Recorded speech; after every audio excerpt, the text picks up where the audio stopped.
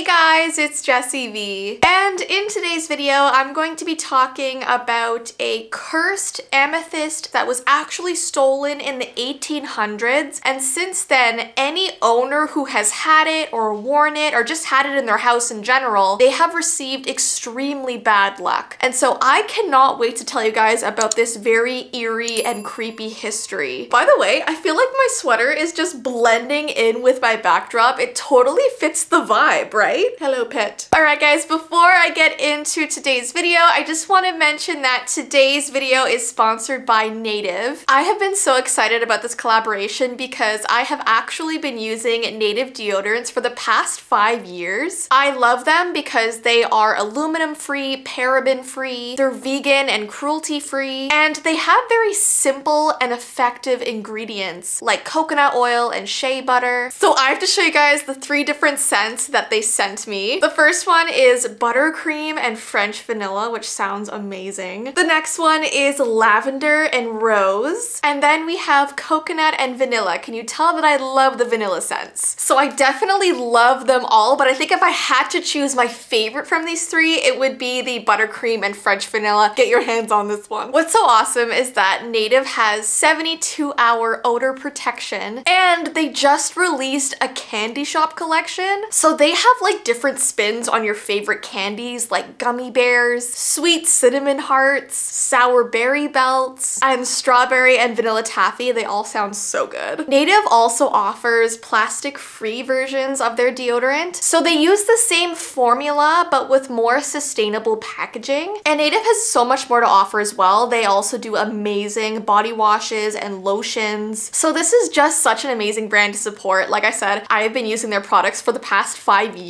So three of their deodorants are $39. But if you use my link and code Jessii, you can get three of them for $26. So that is 33% off with my code. And also with my code, you can get 20% off any lotion or body wash. So check out my link down below. I know you guys will love these products just like I do. And thank you so much to Native for sponsoring today's video. All right, guys, so let's talk about the history of this famously cursed necklace. Ever since it was stolen out of India during the rebellion of 1857, this amethyst has brought its owners nothing but despair and devastation. Now, this has a few different names that it's known for. The first is the cursed amethyst. It's also called the gem of sorrow. And then there's the Delhi purple sapphire. And the stone now resides in the vault of the Natural History Museum in London. A man named Colonel W. Ferris is said to have brought the amethyst to England after it was stolen out of the temple of Indra in Kanpur. Yet the beautiful violet stone's sinister nature was soon manifested when he lost just about everything that he owned and his health deteriorated very quickly. So after owning this stone, things around him were just starting to go very, very wrong. And not just with his physical belongings, with his actual health. And the same misery actually happened to his son who inherited the stone. So he gave it to his friend who ended up dying not soon after having it. And then by 1890, the gem had come into the possession of Edward Heron Allen. Edward was one of the most respected scholars of his time. He was a polymath, writer, and scientist. And he didn't believe in any weird superstition or curse. He thought of himself as such a rational man. Nothing could ever be haunted or possessed. So in 1890, he agreed to accept this stone from the son who had it previously. But soon after owning this stone, as you can imagine, things in his life began going very wrong. So this rational scientist abandoned all reason and began to attribute a series of unfortunate events to the curse of the stone. So he wanted to neutralize this power that was residing in the stone. So he had it bound with a silver ring that was fashioned as this double-headed snake. He thought that maybe turning it into a different sort of jewelry piece, the stone would no longer have this energy over his life. But he was wrong. This apparition, this ghost, began to haunt this man after he turned the stone into a ring. This ghost would appear all through his house in the study of his home. It was like it was searching desperately for the sapphire. In 1902, Edward lent this ring to a friend, and his friend had all of this unlucky things happening in his life. And when it was returned to Edward, the misfortunes followed him there as well. So he was just passing it back and forth to people, but it always ended up back at his house. In frustration, he cast the stone into the Regent's Canal, and Edward must have believed that he was rid of the curse once and for all, but unfortunately, this sapphire had other ideas. Some months later, the ring was dredged from the canal and taken to a local jeweler, and the jeweler immediately recognized the stone as the one he had mounted on a ring for Edward. So this jeweler thought he was performing this kindness and ended up returning the ring to Edward, and this poor man just wanted it gone, but it kept coming back. Then one day soon after, another one of his friends asked to borrow the ring, so he gave it to them. He was like, take it, borrow it for as long as you need to. But his friend was actually a professional singer and they began wearing it for performances. And one day they just were not able to sing anymore. The ring took the voice from this beautiful singer. And even after giving the ring back to Edward, they were never able to sing again. Well, Edward was so tired of this, so he packed the Delhi sapphire into seven boxes filled with charms. He then deposited it in the safe of his bank with instructions for it to not be opened until after his death. So he literally put the ring into a box, put another box around it, then another box. He did this seven times and then put it into a safe. Three years after his death in 1943, as he'd instructed, his daughter unlocked the amethyst and gave it to the museum. And this ring was accompanied by her father's letter of warning. And there's a part in his letter that says, whoever shall then open it shall first read out this warning and then do as he pleases with the jewel. My advice to him or her is to cast it into the sea. And this letter is actually really long, so I wasn't able to read it in this video today, but it basically just recounts his entire life of having this jewel and how all these bad things were happening to him. The amethyst went on display in the Natural History Museum in 2007, and some believe that this curse has yet to fade and that this jewel is still extremely powerful. And actually, there's this creepy story about the man who was transporting this jewel to the museum. In his words, he said, We drove through the most amazing storm we'd ever witnessed. Lightning was flashing on both sides of the car, and my wife was shouting at me, Throw that damn jewel away, you shouldn't have brought it. So while he was bringing it to the museum, he went through this horrendous, awful storm,